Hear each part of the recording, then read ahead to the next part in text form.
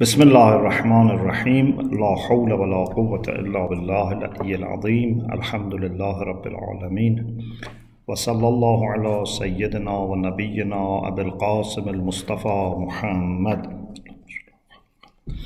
وآله الطيبين الطاهرين لا سيما بقية الله في الأرضين عجل الله تعالى فرجه الشريف اللهم أخرجني من ظلمات الوهم وأكرمني بنور الفهم اللهم افتح علينا أبواب رحمتك وانشر علينا خزائن علومك برحمتك يا أرحم الراحمين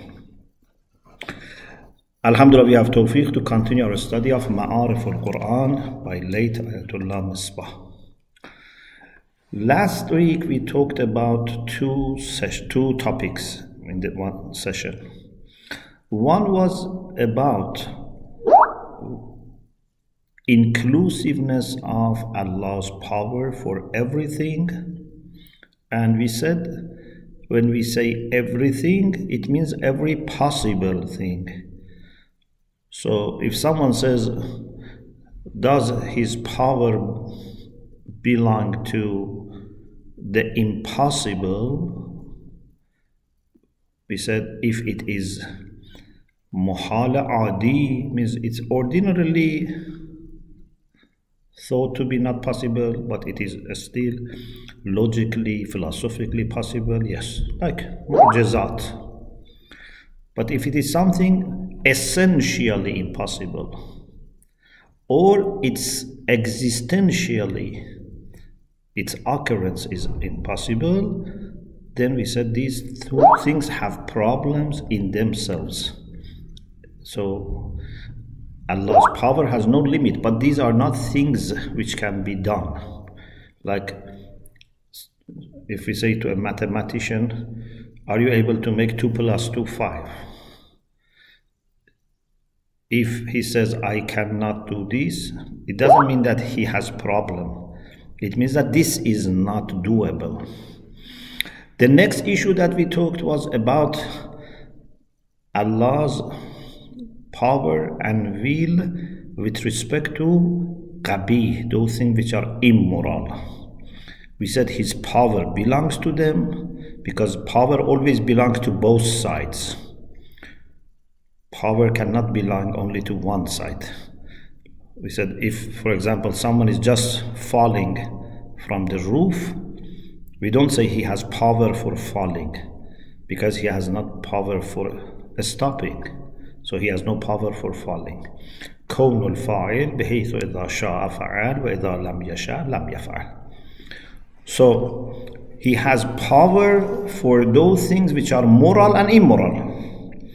But his irada, his will, would not belong to the things which are immoral. So this is about our previous discussion. Now we want to discuss another idea which is closely connected to the previous discussion. And this is about uh, Allah subhanahu wa ta'ala being questioned about his actions. Is it possible to question him or not? Allah subhanahu wa ta'ala in the Quran says, لا يسأل عما يفعل وهم يسألون Allah is not questioned about what he does and they are questioned means people are questioned when we do something then we have to be answerable why we have done this even for good things and bad things both we have to have answer but Allah is not questioned.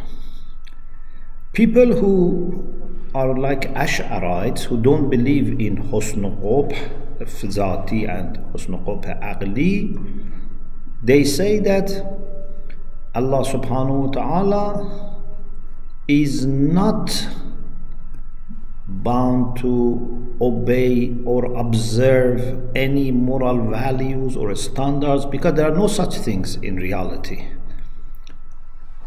Whatever he says to be done is good.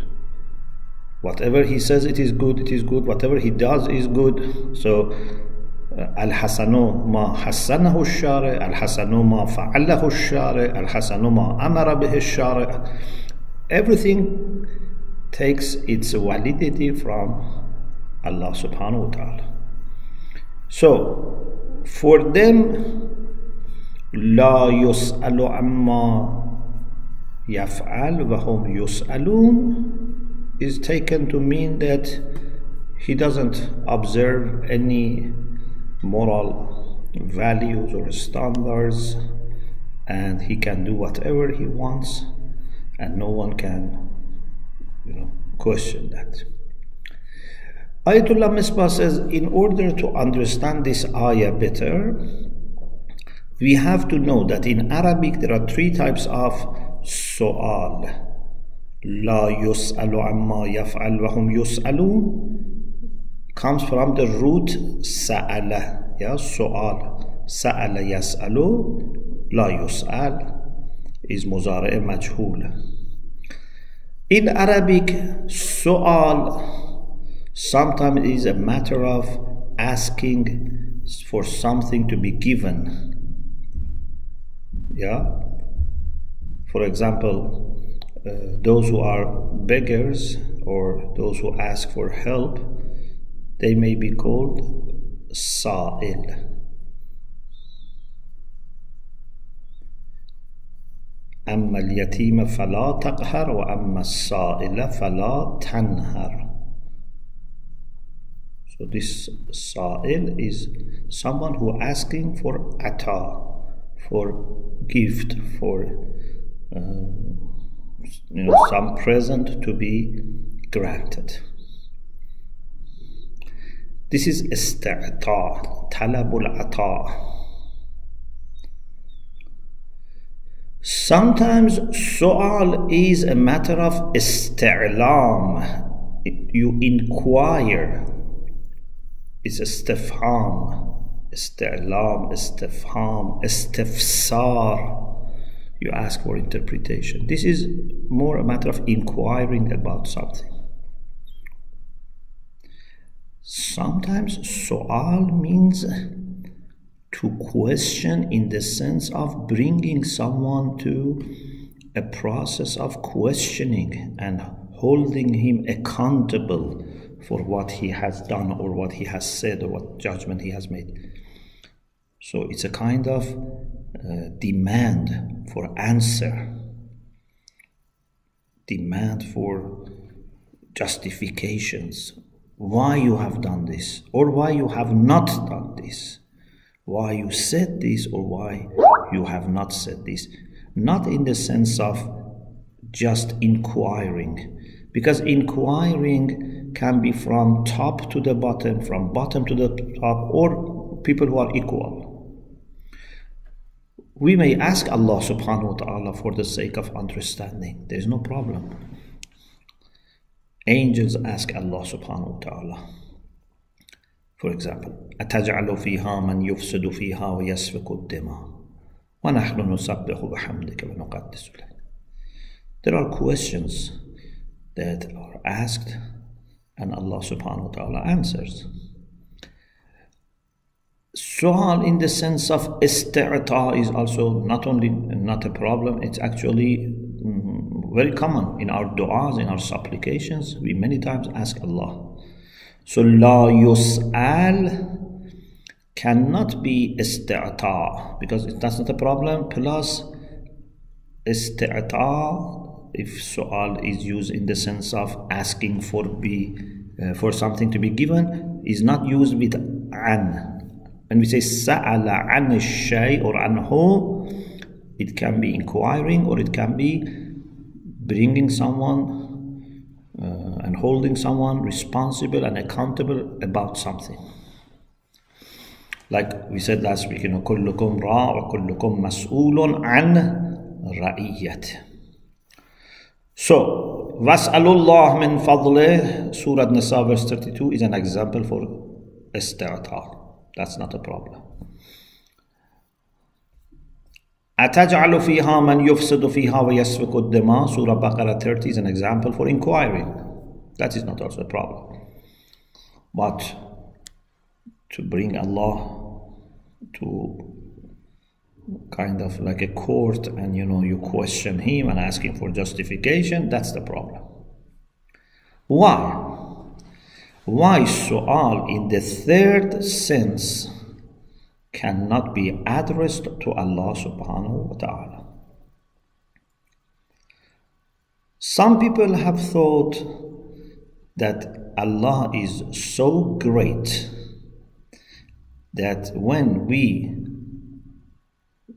poor, needy, humble beings think of His greatness, we would not dare asking Him for answer. So it's a matter of us being very poor and needy and Him being very great and generous. Therefore, we cannot ask Him for you know answer or, or explanation in this way. Ayatullah Misbah rahmatullah alayhi says, it seems that the ayah la yus'alu amma yaf'al wa hum yus'alun is not about this point. Because maybe there are people who have that acknowledgement of greatness of Allah and their absolute need. But there are many people, Ayatollah Misbah says, like us, like many of us, he says, مثل خیلی as well, like many of us, that we don't understand that much greatness of Allah so that we don't dare asking him questions. We would be afraid of asking questions for the sake of, you know, in the sense of demanding justification. So this is not a very adequate explanation. Some people have said the, re- the reason that Allah is not questioned is because everything He does is based on hikmah, on justice, uh, sorry, on wisdom. Not only justice, but also wisdom.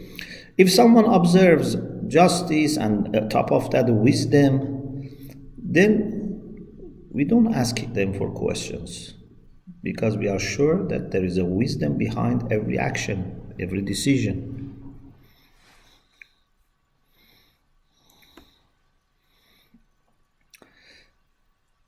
So, this is one point.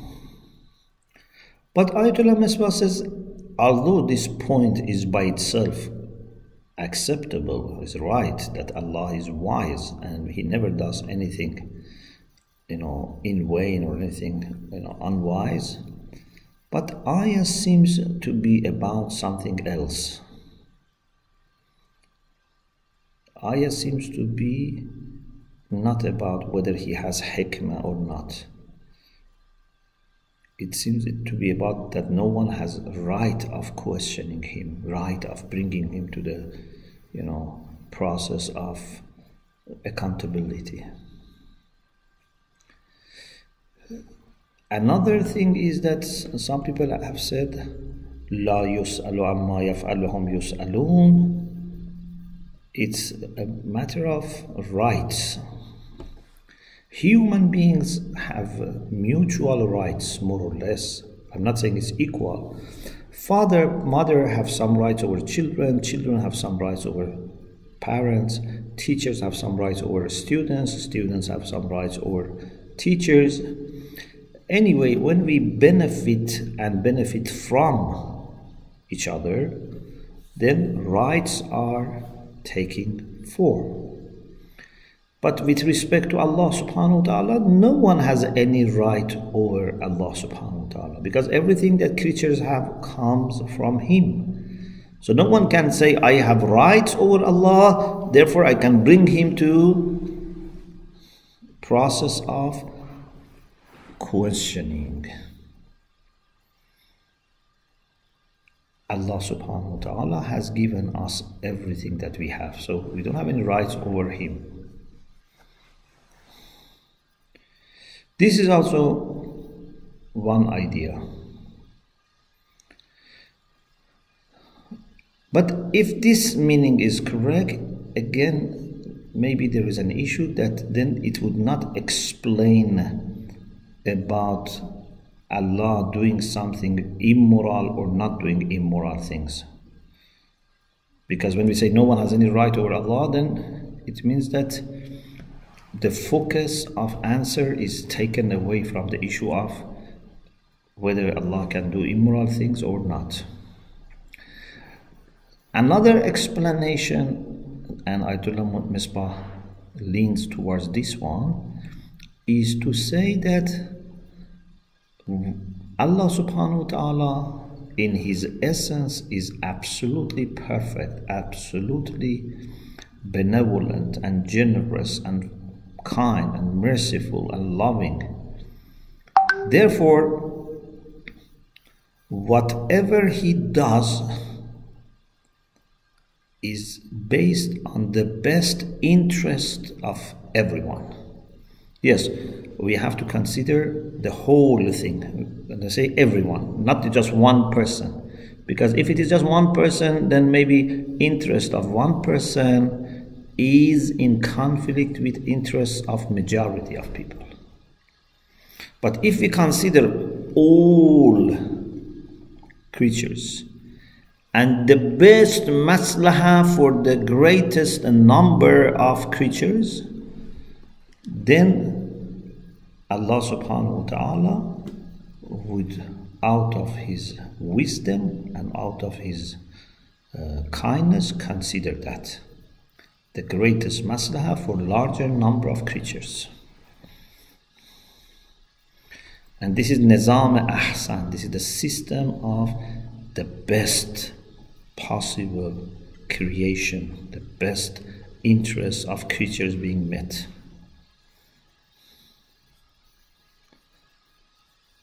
So when we say Allah doesn't do qabih, doesn't do immoral things, it doesn't mean that from outside there are factors, there are things that would limit Him. Or that Allah has no power to do qabih. It means that Allah has in His essence qualities that would conflict with doing qabih. No pressure from outside no weakness from inside. It's just a matter of an, having an essence which is very pure and very uh, rich that would not be pushing or letting bad things to happen. Then he refers to an idea of the tafsir of Al-Manar. In the book Tafsir of Al-Manar, it has been said that since no one has any rights over Allah subhanahu wa ta'ala and therefore la yus'alu amma yaf'al it is wrong to pray to God and then say, please grant me this بحق محمد وآل Muhammad for example or بحق آدم وموسى وعيسى for example or بحق أنبيائك والمرسلين مثلا they say no one has any rights over God how can then you ask him to grant you your hajat because of rights of the prophet or Ahlul Bayt or previous prophets etc no one has any rights over Allah. What does it mean, بحق محمد وآل Muhammad, for example?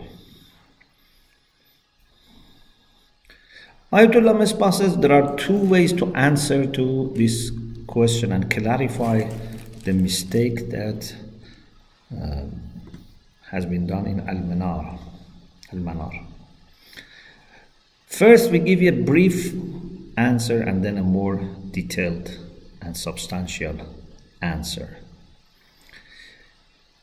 It is true that no one has rights over Allah, but the problem is that in Al Manar it has been thought that because no one has by himself or herself any rights over Allah, it means that no one has absolutely any rights over Allah, even if Allah has granted them some rights. This is wrong.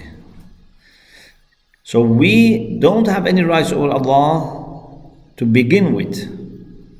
But maybe Allah then grants us some rights over Himself. For example, if He promises and says, I'm going to give you, if He doesn't give, there's a problem because by promising, He has made a right, He has undertaken some responsibility. So, to begin with, or you can say originally, initially, yes, no one has any rights over Allah subhanahu wa ta'ala.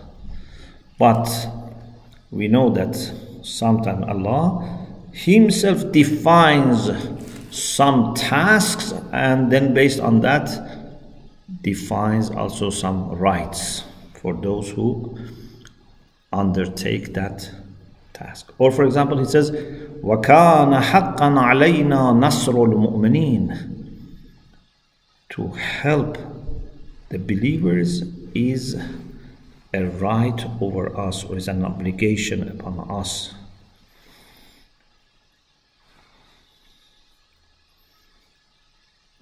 So this is the right that he has given to mu'minin to help them. They have right for help. Or kataba ala nafsih rahmah He has made mercy compulsory for himself. Means creatures can expect mercy coming from Allah subhanahu wa ta'ala.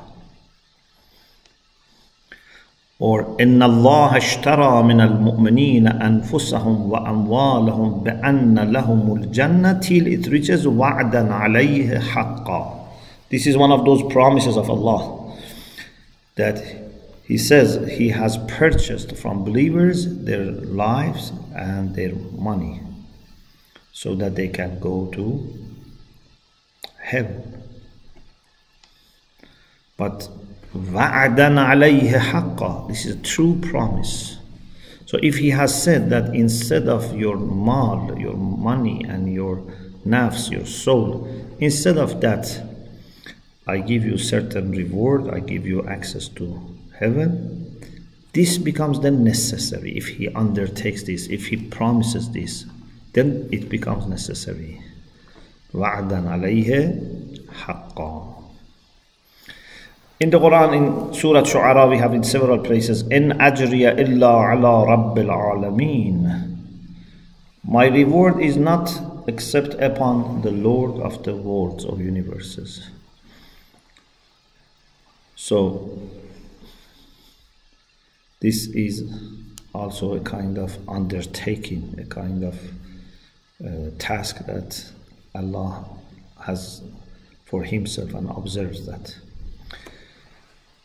ومن يخرج من بيته مهاجرا الى الله ورسوله ثم يدركه الموت فقد وقع اجره على الله about hijrah and jihad also in surah nisa verse 109 Allah says that their reward would be only upon Allah subhanahu wa ta'ala. So Allah has undertaken ala Allah.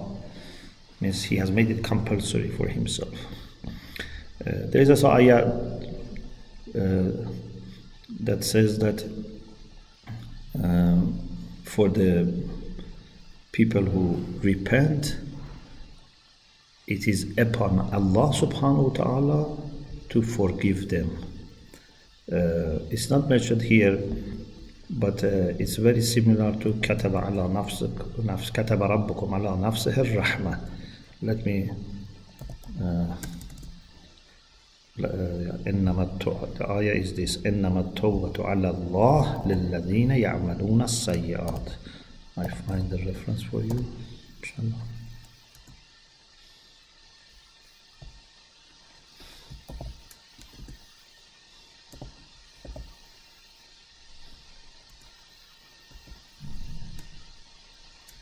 if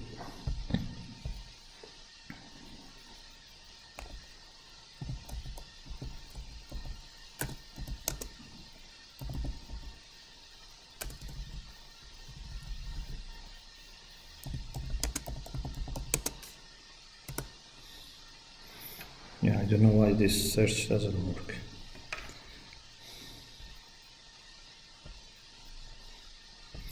You can easily find it. إنما التوبة على الله للذين يعملون سوء or سيئات بالجهالة أظن I think سوء بالجهالة ثم يتوبون من قريب توبة على الله because you know توبة is an action of Allah and an action of the person who repents. تاب الله عليهم ليتوبوا. Actually, Allah does tawbah twice, return twice. First, He returns to us and offers us tawbah, prepares us for tawbah, and second, He accepts our tawbah. So, إنما التوبة على الله للذين يعملون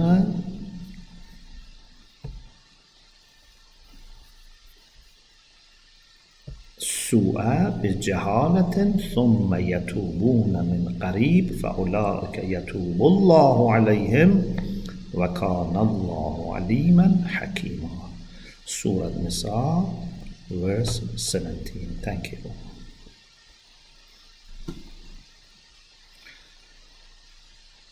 And sometimes Allah does the opposite. So he here he is promising. He is promising reward, he is promising tawbah, etc. Sometimes can be the other way if maslahah, wisdom requires. For example, in Dua Kumail we say, أقسمت أن تملأها من الكافرين.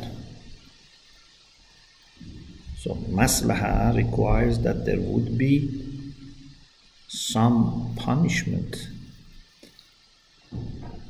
Allah is very forgiving and very much merciful. Therefore, Imam Ali in Dua Kumel says to Allah subhanahu wa ta'ala that لولا أقسمت من تعذيب فباليقين أقطع لولا ما أقسمت به من تعذيب جاحديك وإخلاض معانديك لجعلت النار كلها بردا وسلاما ولكنك تقدست أسماؤك أقسمت أن تملاها من الكافرين من الجنة والناس أجمعين So this is also opposite to promise of reward. This is a kind of threat, a kind of wa'id for maslahah. So why he does give promises why he sometimes threatens all it's because of maslahah because of uh, you know wisdom that he has. It's not arbitrary or it's not because he's emotional he's you know happy or he's you know angry. Therefore he decides to punish or reward no all go back to the qualities that he has in his essence he is such a perfect being that he supports and he encourages and he rewards good things and discourages us about bad things.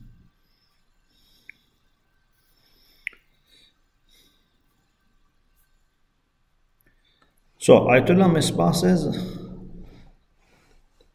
we can say after all this uh, discussion that the ayah la yus'alu amma yaf'al wa hum yus'alun means that divine essence requires and implies that only good things beautiful things would be done by him his action must match his essence, his attributes.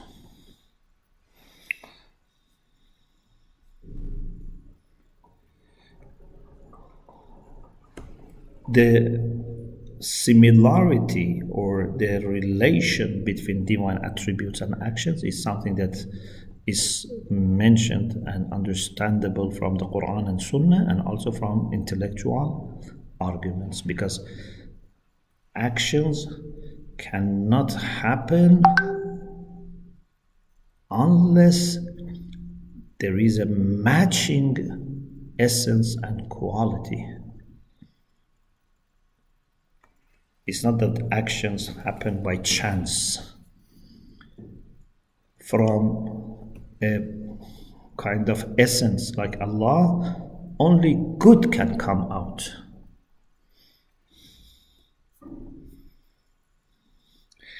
Then Ayatollah Misbah enters into a discussion which is very much developed by Allama Tabatabai. You know the story of I'tibariyat in the works of Allama Tabatabai. Rahmatullah alayh. He has Risala about I'tibariyat, he has discussion about I'tibariyat in Usul Falsafa wa Ravish Realism. He has discussion about I'tibariyat in Risalatul Wilayah, which is uh, one of the best books by Allama Tabatabai, where he talks about the position of Wilayah as nearness to Allah subhanahu wa ta'ala, etc. So basically, the idea is this about etibariyat. But you have to be careful that etibariyat can be used in other senses as well. Ayatollah Misbah in Usul, uh, sorry, in Amuzash Falsafa explains different meaning of, meanings of etibariyat. What here we mean is this that sometimes we are talking about facts and realities Sometimes we talk and study and deal with the things that have been supposed, have been assumed, but they may not have any uh, trace of reality directly. For example,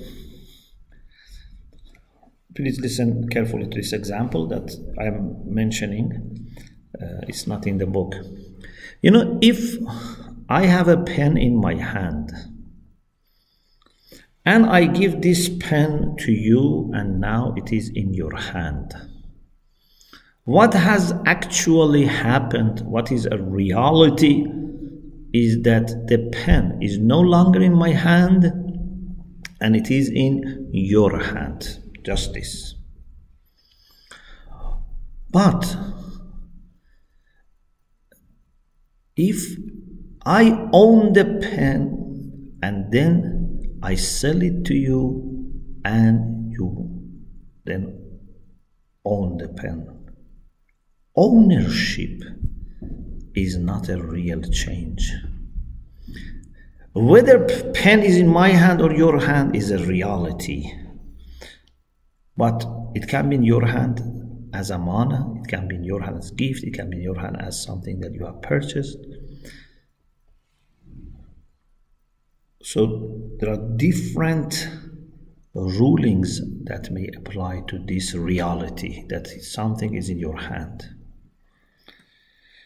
So, in especially social life, social relations, we have many notions that are not purely based on facts and realities. They are more based on our assumptions, our contracts. Ownership, milkiyah, zawjiyah, these are i'tibari. When two people marry, and we say now this is husband this is wife Zawjiyah by itself is not something existential. It's based on contract, it's based on agreement, on assumption. And maybe sometimes different traditions have different ways of arranging marriage, etc. Even we may have you know different fatwas about details. But after that, there are lots of real consequences. For example, now that they are married, or now that someone owns something legally, there can be lots of consequences. He has a right to use what he owns, or he can, you know, for example, look at, you know, his wife, or wife can look at the husband in the way that you cannot look at a non-mahram or a stranger. So real changes, real uh, rulings, consequences can come. I own this house, I live here, I keep myself safe, warm, etc. These are real. But ownership is i'tibari, is based on our contracts, our assumptions. Allama Tabatabai in Risalatul Wilaya says that many things which are mentioned about heaven and hell or in religion in general can be i'tibari. They relate to realities, but they don't directly inform us about some realities. One example that Ayatollah Misbah here very much, uh, you know, develops and uh, highlights is buying of money and soul by Allah subhanahu wa ta'ala. For example, Allah says in Surah Tawbah verse 111, إِنَّ اللَّهَ اشْتَرَى مِنَ الْمُؤْمِنِينَ Allah buys from mu'minin. What does He buy? أموالهم وأنفسهم بأن لهم الجنة. The price is Jannah. But do you think really there is a purchase that Allah buys and you know gives the price like we do in the shops for example or market? Or Allah says, هل أدلكم Surah Saf verse 10 هل أدلكم على تجارة تنجيكم من عذاب أليم Shall I show you, shall I inform you, shall I guide you towards a business, a trade that would save you from painful punishment? So is there really a tijara? Or Allah is using this language to explain to us a fact and that is what through your actions, through your iman, through your qualities, you can gain. It's not like, for example, if you study and learn, is this learning is a natural outcome of studying. It's not a, a kind of that you are buying knowledge. But we can use this language of buying and you know purchasing. Ayatollah Misbah says once I asked you know someone you know one Sufi order a person from a Sufi order that they would you know take bay'ah from people people pay allegiance to them to their murid, murad to their murshid and he said the reason we ask for bay'ah is because Allah has done a kind of business. إن الله إن الله اشترى من المؤمنين Allah has purchased from them أموالهم وأنفسهم So there is a selling and buying. But Allah Himself has not done this bay'ah and holding hands and doing, you know, uh, So on behalf of Allah, we do bay'ah, which is to implement or to execute the bay'ah. But Ayatollah Misbah says, no, this, uh, these people have taken uh, ishtara literally as if there is really an act of buying and selling. No, it's not really buying and selling. it's for our understanding. Like let's say ad-dunya mazra'atul akhirah. Is it that dunya is really a farm? Or tahsuduna ma tazra'un, you will harvest what you have planted. Is this really a harvest? No.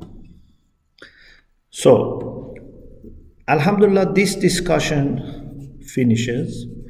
Now it is clear that when we say لا يسأل عما يفعل وهم يسألون it means that Allah subhanahu wa ta'ala is so uh, wise so perfect that his essence would not match doing anything bad anything immoral he only wills good things and actually uh, I, you know, always add to this discussion that it's not only Allah who is not la yus'al, even angels. Angels also, because they always do good, they are not questioned. On the day of judgment, also, angels are not going to be brought for, uh, you know, questioning. Because angels also do only good things.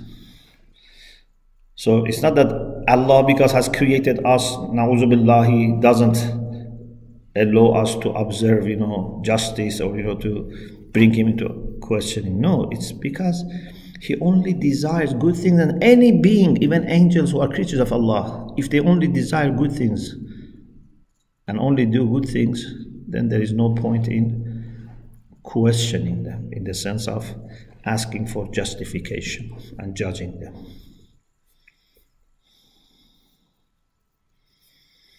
And then we have this discussion about i'tibariyat, that we have to be careful that what is explained in this language is not necessarily exactly the real change that happens in the world. The next topic is about aims of Allah subhanahu wa ta'ala in his actions. Does Allah have any aim, any purpose, and if so, what is his aim or what are his aims?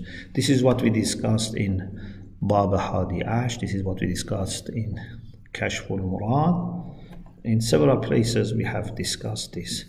Some people have thought that if we say his actions have aim, have purpose, he becomes needy and subordinate because it means that he needs the result of his action. But the answer is that sometimes the agent has an aim, but the aim is to benefit others, not to benefit himself. We shouldn't think that any fa'il only wants to benefit from others or from action to meet his one of his needs or some of his needs. I'd say Allah also is then needy. No, it's not like that. In order to clarify what is the right position in this discussion, he makes some points. I mentioned some of these points today, and then inshallah we continue in the next session, bi'ithnillah. You are familiar with four types of causes. In Sharh Manzuma, actually, we had this recently. We have illat maddi, illat suri, illat fa'ili, illat ghai. The material cause, the formal cause, the agent, and ghaya, the end. If a carpenter makes a chair in order to sell it or in order to rest, so ghaya, the end, the purpose is making money or having a place for rest. Again, in philosophy, we have explained that illat is before the action, is illa, and actually is motivating the agent. So illat is actually causing illat fa'ili because illat fa'ili when the fa'il is bil qasd when fa'il does things intentionally cannot do anything unless there is a purpose so illat ghai is illa for illat fa'ili is the cause for the cause but actual rest or actual money that this carpenter is going to make comes later as ma'lul of this action.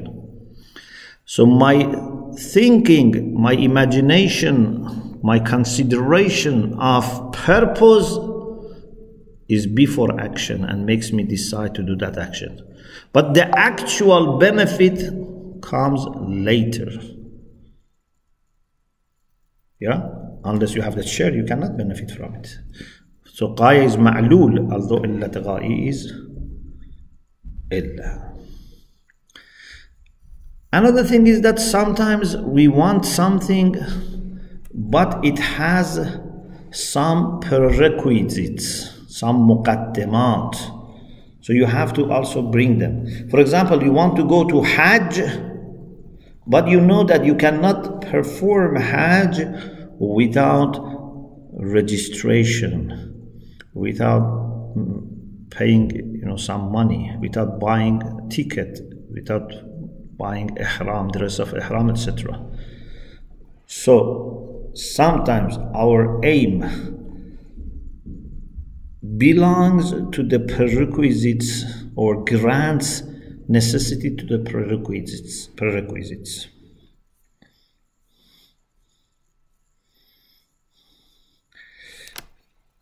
From this, we can understand that there can be a hierarchy of the aims.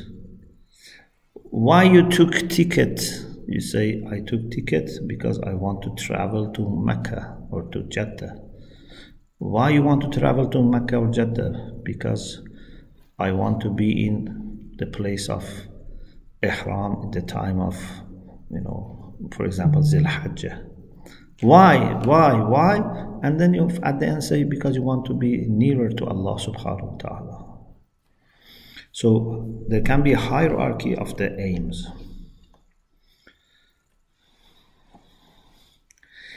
Then he says, when we look at our actions, we consider, reflect on our actions and their aims and ends, we would realize that every rational, every wise action is to help us meet some of our needs, to acquire something, to obtain something, or at least to protect ourselves against some harms. But if we look more closely, we find that sometimes the end is not to meet our need. It can be to meet someone else's need.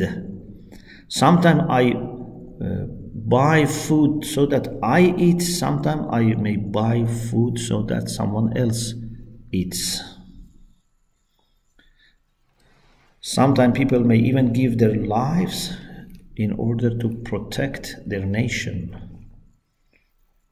So it's possible that we would have the kind of uh, action that we directly don't benefit from. Or at least that is not our intention. Even if we are going to benefit from it somehow maybe that was not our purpose. In a moral philosophy classes i normally discuss this issue of hubbudhat self-love and i don't want to discuss it now inshallah if we have falsafi akhlaq we can talk that uh, many thinkers many philosophers they say that uh, everything that human beings do is out of hubbudhat. They do everything because of hubbudhat. But uh, I personally believe that maybe most of our actions are for hubbudhat, but we can also have genuine, independent uh, motives, things which are different from hubbudhat.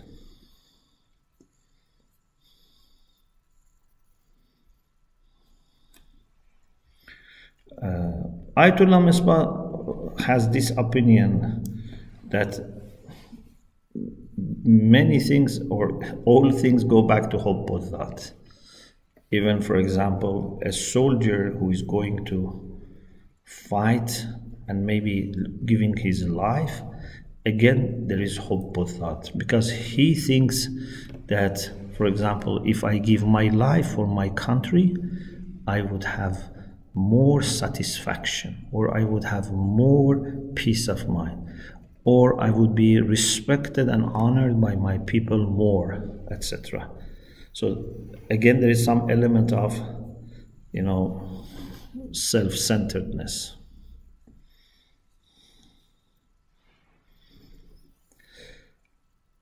He says, one conclusion up to here is that in our actions, the aim, the target, because aim is the target when you, sh- you know, shoot some arrow, for example, towards something to be on, fixed on the wall or etc. That target is called hadaf.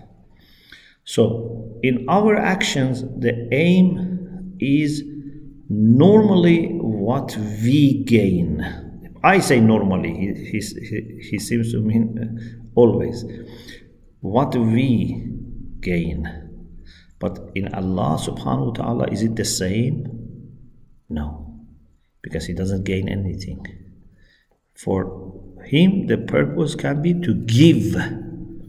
من نکردم خلق تا که سودی کنم بلکه تا بر بندگان جودی کنم I haven't created people in order to benefit from I have created them in order to show my generosity.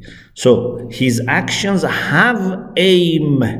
Otherwise would not be Hakim. Hakim does things with purpose, with aim. But although he has aim or aims, and there is actually sometimes hierarchy of the aims, but it's not for helping himself, for benefiting himself. Purpose is there, but not benefiting from it for himself.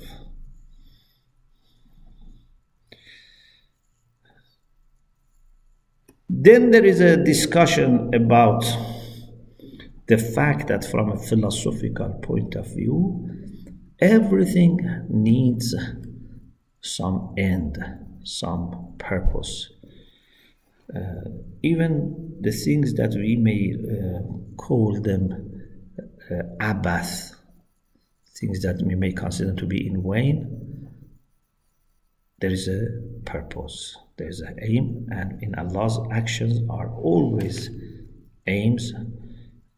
So we can, inshallah, continue this discussion. And after clarifying more the concept of aim, we can say then what is the aim or what is the series of the aims what is the hierarchy of the aims that Allah subhanahu wa ta'ala has in His creation. Interestingly, in our discussion about commentary on Manzume, about two sessions ago, we discussed all these things about when, for example, you meet two people, you know, two people meet each other after some years by chance. We call it chance, but for philosophers, this is not chance. When someone is playing with his beard, some people may think there is no purpose. Again, philosophers say there is purpose.